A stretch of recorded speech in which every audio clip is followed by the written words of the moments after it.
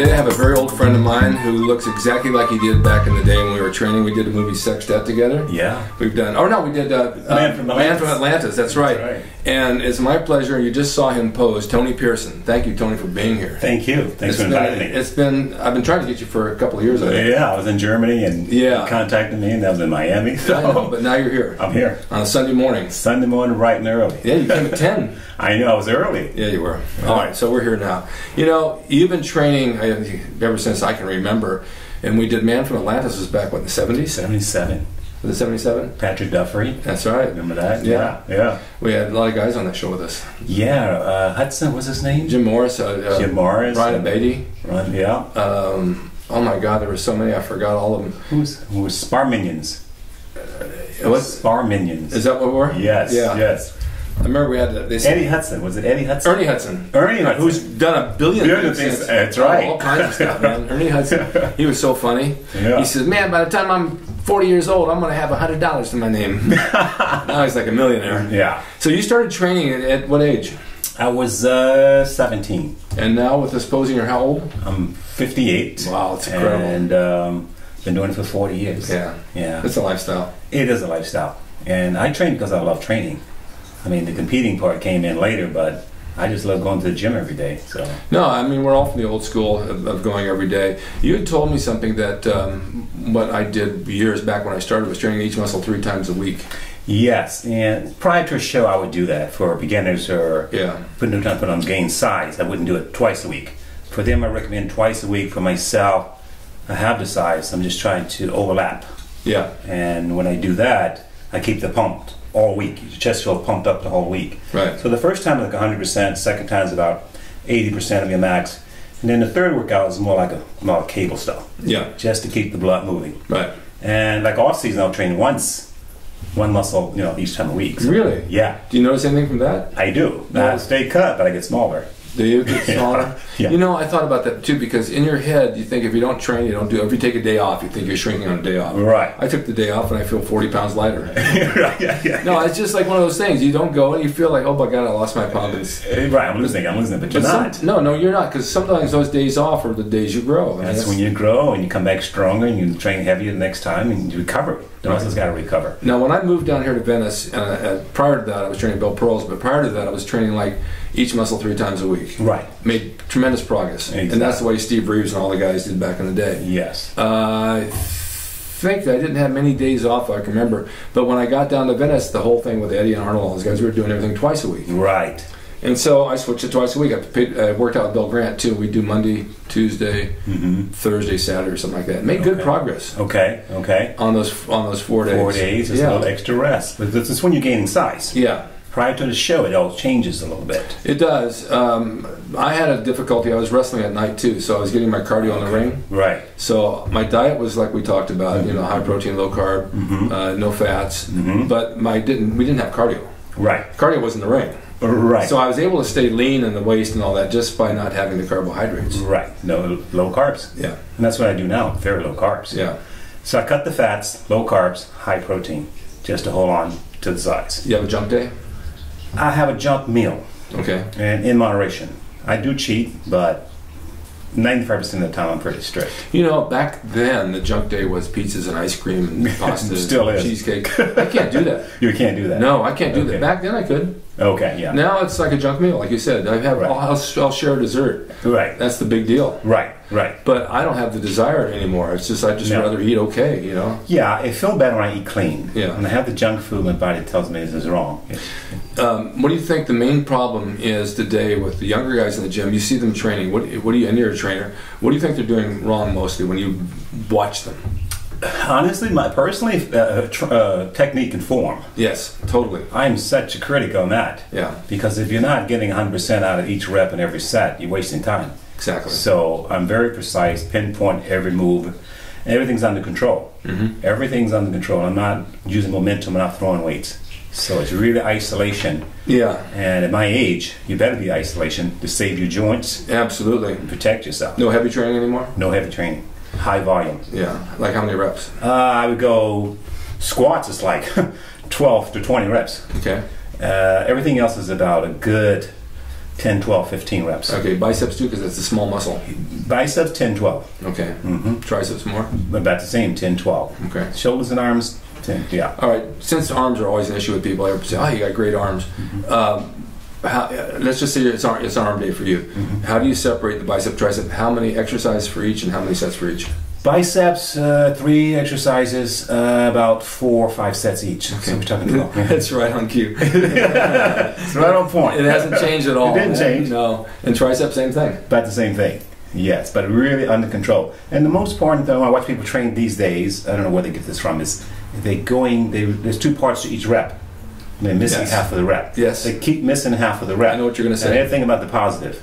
It's the negative that counts. Right? So everything that I do, I'm focused on negative, always. Yeah. It's not about, if I got to think about the weight, then, then it's too heavy. So I'm focused on my muscles. I'm pinpointing where it's going to go inside bicep if I'm curling. If I'm doing tricep, inside head of the tricep. So there's got to be a point where you focus in on when you're training. Like squats, when I'm not squatting, I'm focused on the upper quad the whole time. I'm not thinking about the weight, just the quad. Where? Well, your mind tells your body what to do, and so your mind Right. direct yourself to the target that you want. Yes. And if you see these these kids, I don't know, let's call them kids, they're all types, all ages in the gym. Right. Their form is so bad. I saw a guy doing triceps with the handle. He's just doing this. Yeah. And this one kid was in the gym. He doesn't talk about it. He's doing curls. And he's doing like this. Yes. The funny thing is, he was getting a bicep, and I got pissed off. Why are you doing that so wrong? And you're still getting a bicep, you know? Well, if you have genetics, anything you do is going to work. yeah. But if you don't have the genetics, you better really focus on some form and technique to Yeah. really get that to develop. When I started bodybuilding, I had no chest and no triceps. I had to build it. So it wasn't throwing weights to build. I had to really think about and analyze what can I do to get my chest to grow. It was not from the bench press. It from No, dumb- no, it's not from bench It was press. from heavy dumbbell presses, dumbbell flies, dips. And back in the day, I did pullovers, which I don't do anymore. No more pullovers. But it was those three exercises that built my chest. And then I went back to the bench. Yeah. Now the bench was more of a powerlifting move. It was a power move. and the stronger I got on it, my pecs never got any bigger. But I switched to dumbbells, Yes. started getting getting Yes. what I wanted. Yes. Uh, even dumbbell inclines. Yes. You heard of Jimmy Caruso? Yeah, sure. He had a gym in Canada. Uh, he, he, he spent hours with me teaching me how to pose. I'm grateful for that. But in his gym, there was no bench. It was all dumbbells. And all of his guys had these huge chests, upper chest, lower chest, and from dumbbells. He would they didn't allow bench press in his gym. No, you're right. It make, it does it does make a big difference. Um, sometimes after doing chest, I'll lean against a, a pad like a preacher bar, and I'll do maybe 50 push-ups and just hold, Yeah, exactly. hold, Right. and, and flex. Center chest. Yeah. Exactly. It brings out all the cuts too. Right. You know, somewhat. Yes. Um, dumbbell flies. You think they're as, as good as cable crossovers? They're better Yeah. because you can use more weight. And there's that stabilize and control balance thing. Yeah. So they're better. I do a slight little decline, not flat. Mm-hmm. I, de- I put a 45 pound plate into a slight little decline so you get that lower chest engaging, which we need. And then when you contract to the top, to the middle, you get that upper chest. So it's Right. working the whole chest, slight little decline. Right. Not the full decline. No, I got it. front delts. The, the thing is, is that when you reach a certain age, my age for sure, uh, even your age, the, the joints start to hurt a little bit. And there's a lot of guys out there who watch this show and say, look, there's certain movements I can't do. Right. They can't do dips. I used to Right. be great at dips. I can't. I'm afraid to try them. Same here. I don't. I stopped doing dips and dumbbell pullovers. Yeah, pull it. Kills your shoulders. Right. Right. So Now, even the dumbbell flies, Mm-hmm. I can do them or dumbbell presses now, and my shoulder sounds like celery. Just Mm-hmm. you know, you can feel it cracking like mad. So I kind of shy away from it. okay. And then I was up to like, I mean, I was up to like 150 pound dumbbells for reps years ago. I quit doing them. I started doing machines, right? Yeah, okay. So now I went back to the 45s and 35s the other day, and I haven't done dumbbells in a year. They were heavy. Mm-hmm. They were heavy. I heavy. felt like a fool. But you felt good. Did you feel the pump? I felt it. It's the same thing with curls. I mean, I used to curl like the 50s, 55s, 60s, 65s even, and now I do the 20s. right. And I feel like a wimp. That doesn't, it's- not doesn't matter. No, but it's it's. It's a, I know it's a mind game. Yeah, I don't understand why that is so heavy now. Uh, and then I see guys like Rich Piana come in, they do the same thing 20 pounds, 15 pounds. Yeah, you know, over time it comes back. Yeah. So you start with 20, and then you'll be 30, you'll be 40. Yeah, hopefully. Yeah. It just weights is relative. It's not how much you're using. Doesn't matter. Yeah. It's what you're doing with it. Yeah. I was doing biceps a couple of months ago, and this kid comes over to me. He was strong. He was curling 65. So he comes over to me and he goes, "So your bicep is good. So what are you maxing out with on the dumbbells?" I said, "30s." And we start laughing. Yeah, you don't, pounds? you, you don't need it if you isolate it. No. The other question is, because I had Doug Brignole on, we were talking about working body parts, for example. Let's just take a bicep. Mm-hmm. He says the bicep does one thing, it goes up and down. Right. So when people say they're shaping it or they're doing this to shape it, not really, because it has a shape of its own.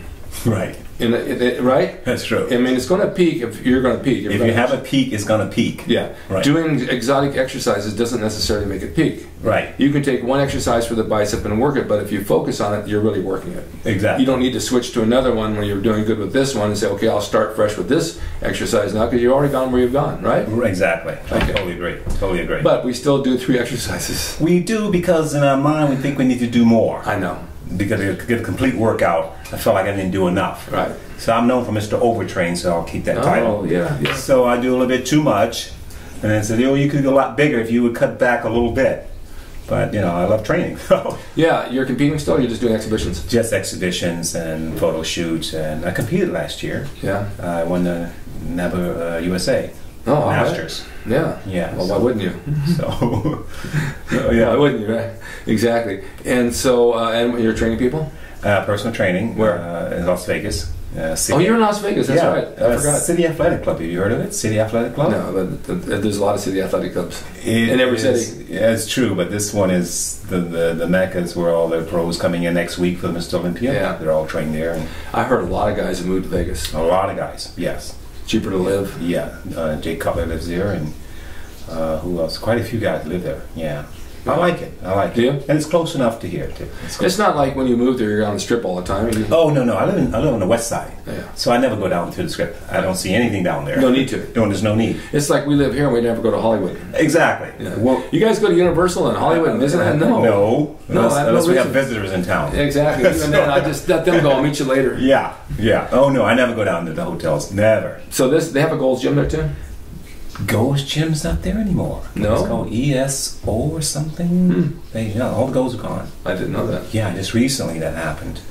But uh, they have Las Vegas Athletic Club and mine's a City Athletic Athletic Club. Okay. And uh, great gym, bodybuilders gym. We have tons of trainers.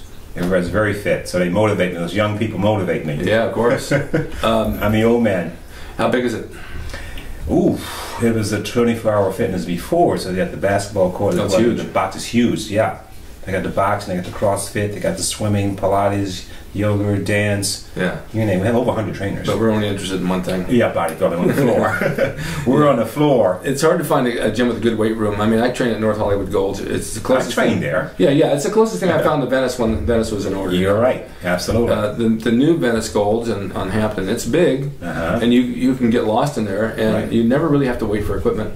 right. And I do see a lot of the people like Eddie Giuliani and, and I see Ferrigno and Seymour Koenig and those guys, but a lot of the guys aren't there anymore. They're gone. I, I know. I know. It's kind of sad. It is. I A lot of that. A lot of them passed away. I mean, it's, it's pathetic. You know, I mean, I ran into Don Howard down at the beach, and uh, Mhm. um, he's not the same guy anymore. It's. Chuck, I had Chuck Faust. You know Charlie Yeah, yeah, yeah. Well, we were friends years ago, and I had him on the show, and what a nice guy. He just had so much to say about everything, so knowledgeable. Well, okay. What a pleasure. He just Right. really pleasure. I can't wait to have him back. Right. And I told him, I remember when we met and he was training at Vince's and I was at Gold's. Uh-huh. We came to the Valley one day. We went to this Ralph's one night, him and a guy named Rick Giaffu. And I and they were going down the aisles eating peanut butter out of the jars and ice cream and foods and putting them back and putting them back. He says, "Hey man, we had no money. We had to eat." That was lunch. Yeah, I mean bodybuilding back in the day. I mean you, you had to scrounge for food, and even even um, next to I think it was the gym on Broadway, which was Muscle Beach Gym. They had all you could eat, and you can go next door and eat all the chicken. And then the owner got a little upset. He changed the sign to the best you could eat. Best. yeah. No more bodybuilders are allowed. Oh wow! Oh, they got Well, kicked those- out. Yeah, those are the days. We knew all the places. There was a Swedish smorgasbord up the hill. I used to chicken- go there. You know what I mean? yes, we had chicken night. Yeah, yeah. I was there. Where- where- where- with like- King. With Kid King. Exactly. Bodybuilders had their radar out. They knew exactly where to go eat and eat the most. Yes. And a lot of guys take their workout bags and foil and put chicken breasts and stick it down in the bag and take it home and eat it. Cheating. Yeah, I went to the pancake house one day and there was this guy named something Flowers. I can't remember. He looked like I always told him he looked like Diane Keaton. He had long hair. We're sitting there eating and he's spotting this lady. He keeps looking at this lady, and then she got up and left. And he went right over there and finished her salad. No, he didn't. He says that she's not eating it. I got to. Funny stories like that from the past. Oh, I remember those days. I lived on tuna fish and coffee. yeah. Because how you get so ripped with America? Uh, tuna fish and coffee. I didn't have any money. It's funny you said that because sometimes I'll go to the mall over here. I'll get uh, some Subway tuna. Uh-huh. Um, I'll get about three or four scoops and I'll have coffee. And I found this is really, really weird. You drink a sip of coffee and then you take the tuna, and the tuna tastes okay, but the coffee after the tuna tastes like coffee beans. It smells like it Right. really fresh. Yes. Yes. Doesn't it change the taste It, it changed the taste completely. Yeah, it makes I, the coffee. sm- It tastes like it smells. I got used to it. I got thrown out of gym a few times when I first started. I think it was Dan Howard. Get out of the gym. I hadn't seen him in years. I saw him in 2004 at Joe Gold's Memorial. He's, I think he's in Orange County still. Oh, is he? I don't know. I mean, he was he was there and gone. And Arnold's back at Gold's. He is. I haven't seen him yet. Oh. He's always taking pictures of people down there. Oh, okay. He's back. Yeah. Okay. It's good to see him back. Oh yeah, yeah, Looks yeah. great. He looks he looks good. Yeah. Yeah. he's in good shape. Yeah. He's in good athletic shape. Right. He's not Exactly. huge, but he doesn't need to be. Who needs to be anymore, right? I don't want to be huge. No, I never want to be huge. no. What's your plans for the future? Um, build my uh, personal training business more and try to write a book. I want to put the last 40 years of my little tricks and trades in the book. Are you writing it now Yes, I'm working on it.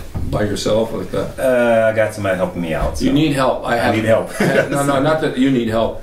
I have some books out, and I have to finish one on my life for the past ten years. I wrote when I tore my quads. I wrote a book of my life until 2001, and then I stopped, and now I've got up till 2015 to finish.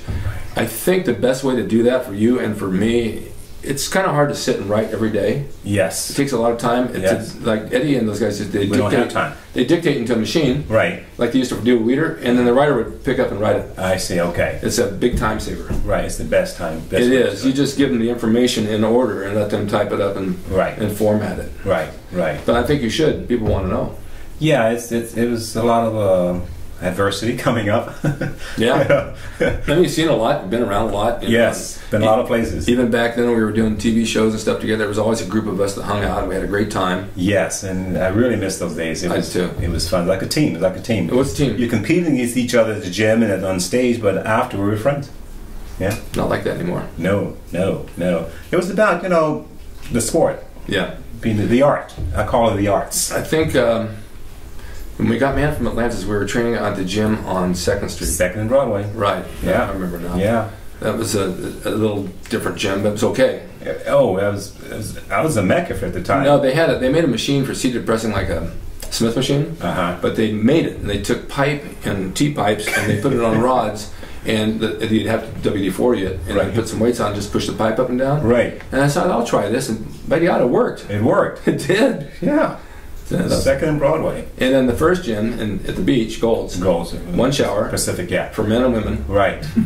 you know, I, I made it the last three months before they closed the door. I arrived in '76, Yeah, and a few months later, the door was shut. I remember the first time I walked into Gold's. yeah, I was like a kid sitting in the corner watching everybody train, and, and it was just before the Olympia. yeah, So these guys were training. Everyone had a training partner too. yeah.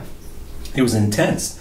All you hear was weights and waits and waits. No one's talking, no one's drinking. It's very it's, No music. You could feel the energy. Yeah. And I was sitting in the corner looking at these guys. Oh my God, how do they do it? I want to do this. This is what I want to do. Yeah. I knew from that moment.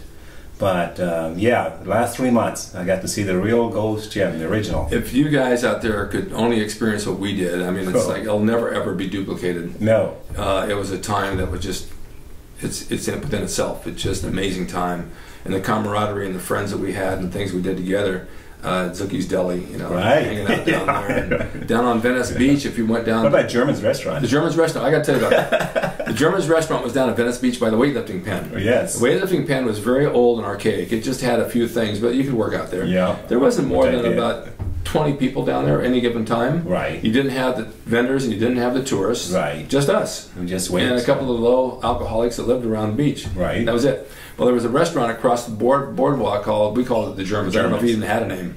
Yeah, I have no It, idea. it was a German guy and his sister. right. And they had what, a seven egg omelet and toast and jelly and coffee for like a dollar thirty-five. Yes. And the sister was actually pretty. Okay. She was pretty, but she had huge shrubs in her armpits of hair. Oh. because like the Germans do, and when Right. would serve your food, that would hang out over it, you know. And Arnold found it sexy. He liked that.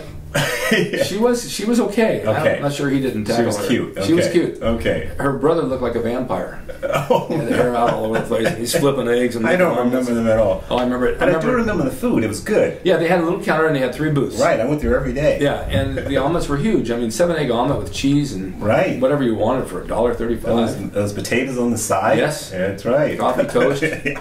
I know. And then they moved from there to Windward, where the arches are. Okay. They moved into another building there. Okay. And I remember Dan Howard was was working at the gym, and he was out for a moment, and Clint Eastwood walked in, and someone and Clint said, "When's Dan coming back?" And he said, "I don't know, maybe an hour." He says, "Well, is there anywhere to eat around here?" And someone said, "Yeah, go right down there to the Germans. You'll get some good food." Right. So somebody said, "Why would you send Clint Eastwood to a place that has ptomaine poisoning?" you know, but apparently he liked it. He liked it. yeah, yeah. Oh. Oh, there's so many stories. I thought it was great. It was great. Oh man. Those gays are gone. we used to have all those special nights. We got to go eat. Let's go. Exactly. And we didn't have cars, so we had to jump in each other's cars. Exactly. I never had a car. Oh, that was like, yeah, I used to take you to the set. Yes, on know. your bike. Yeah, yeah, you're right. That's right. All the way to the valley. Yeah. Oh my God. Oh man. What Well, it's nice that you're here. Yes, uh, it's been fun. A lot of fun. Now, people can reach you. You guys want to reach Tony? How do they reach you on, on the my, my website is Tony Pearson, personaltrainer.com. Okay. And uh, my email address is tonypearson87 Okay. at hotmail.com. I'll put that up so they can see it. Okay, good. And it's just been a real pleasure. My pleasure. Now you have to go back to where?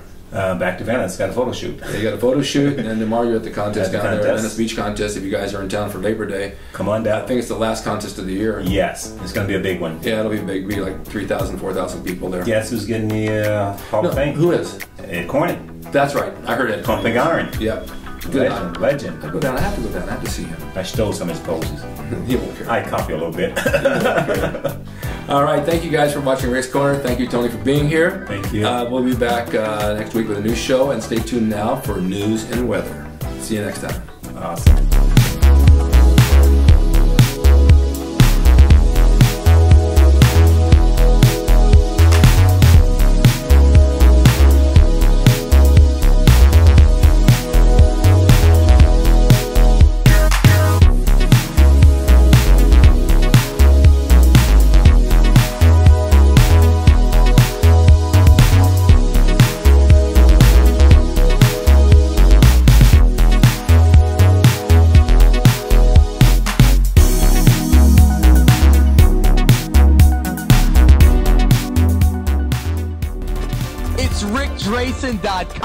He is the equalizer, baby. See you next time.